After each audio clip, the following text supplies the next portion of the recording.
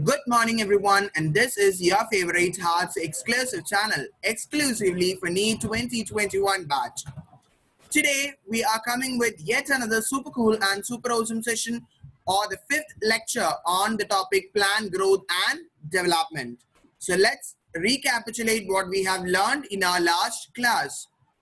So let's start with today's super cool class. So this was our topic for the previous day about the plan development. We have studied about the definition for development that it's a sum of growth and differentiation is referred to as development, okay, plan development. That is all the changes associated with the life cycle of an organism can be represented as development, okay? Then we have studied about the term plasticity. Plasticity means it is the different pathways in response, plant response to different pathways of the environment to have different structures and this is called plasticity. Okay. Then we discussed about the factors that is controlling the plant development. Okay. Intrinsic and extrinsic factors. So today we are moving with yet another new topic that is plant growth regulators and phytohormone. Plant growth regulators and phytohormone you will be getting guaranteed 100 percentage MCQ for your NEET. 100 percentage direct MCQs for your NEET from this particular topic plan growth and development from this particular topic that is plant hormones or phytohormones. So let's get started. So in this particular session, we'll only be dealing with the term plant growth regulators or phytohormones and only with the first hormone that is auxins. Okay, the, this chapter will be a lengthy chapter because I'm taking the lectures in cut it in a small way. Okay, so plant growth regulators. What do you mean by plant growth regulators? They are simple, small molecules that regulate the plant growth. Okay, plant growth regulators or PGR, very important. PGR plant growth regulators. They are certain small and simple molecules that regulate what? Plant growth. Okay. So based on the functions, PGRs are of two group. Okay, they are of two group. First is a plant growth promoters. We can just call it to be promoter, growth promoters and growth inhibitors. What are the hormones that comes under growth promoters? That is auxins, gibberellins and cytokinin comes under growth promoters. Abscisic acid and ethylene comes under growth inhibitors. And not this point for NEET question.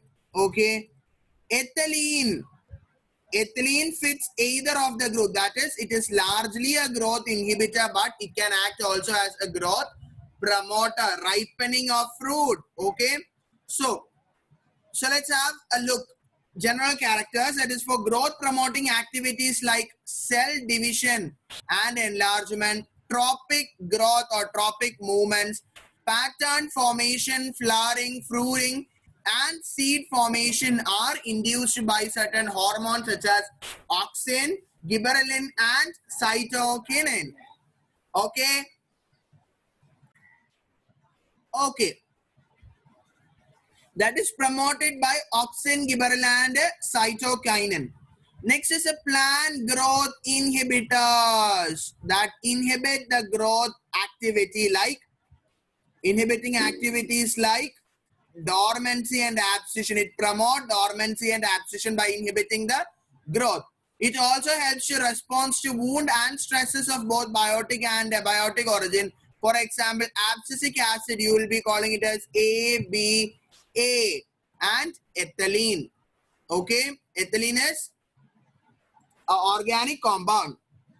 Next is auxin. So the very first hormone we are discussing that is about the auxin. Okay, what is auxin? Auxin is first of all, you have to identify that auxin is a growth promoter. Auxin is a growth promoter.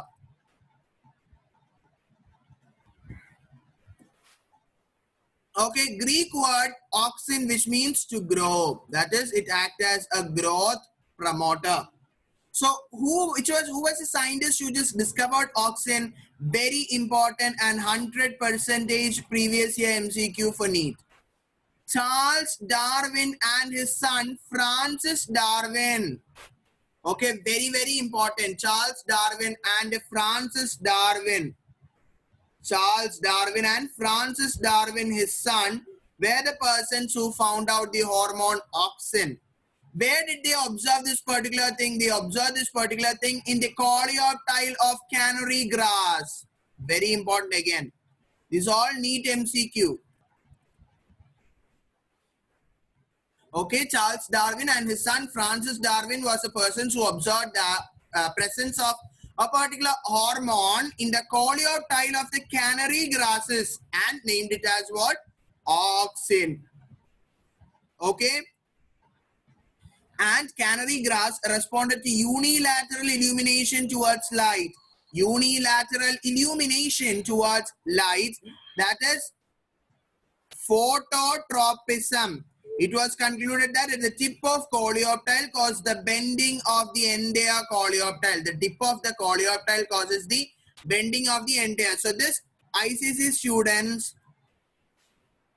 in last year, that is 2019, onwards they might have studied, not 2019, from 2018 onwards, they have studied this particular diagram in your biology and this may or may not be asked in their DBQ question in the hormone responsible for this phototropism.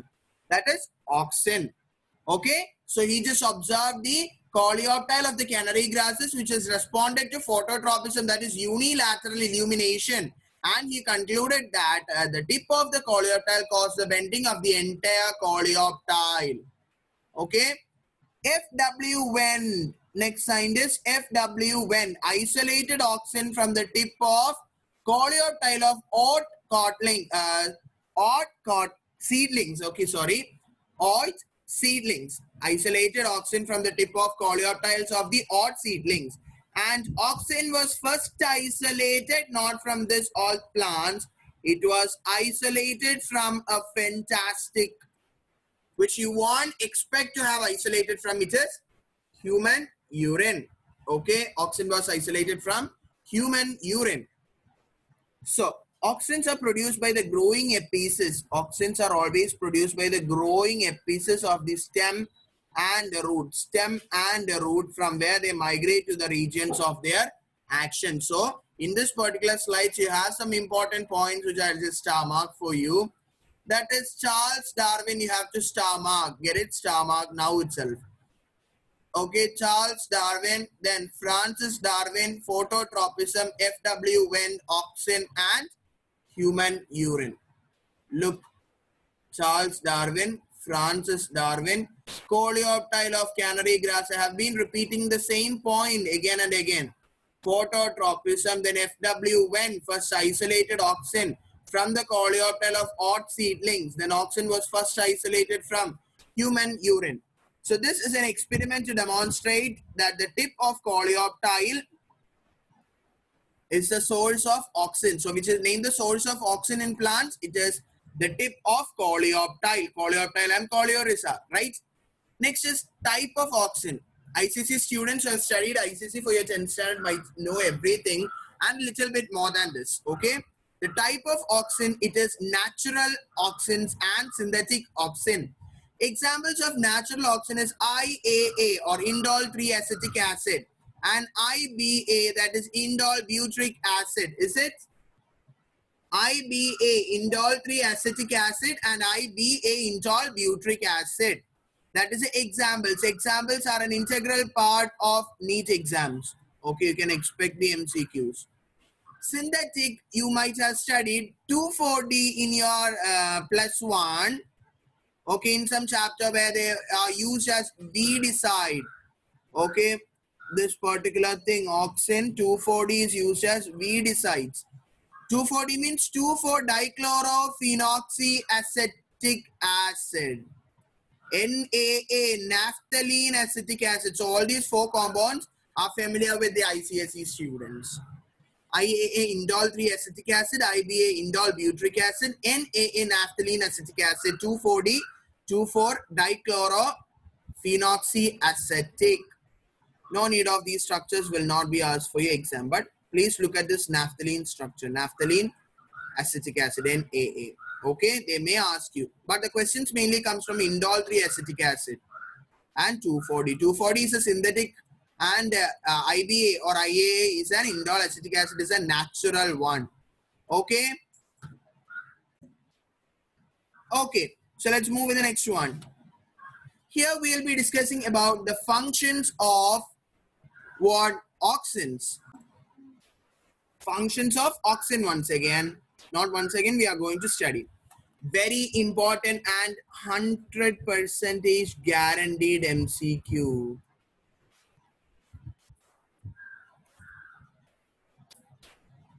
Guaranteed MCQ. 100 percentage question will surely question will ask. Okay? Okay? Okay the first function is to initiate rooting in stem cuttings for plant propagation. Okay? To initiate rooting promote flowering. All the functions are promote. Okay? Promote growth right? Promote where it is initiating root cut, uh, rooting in stem cutting for plant propagation.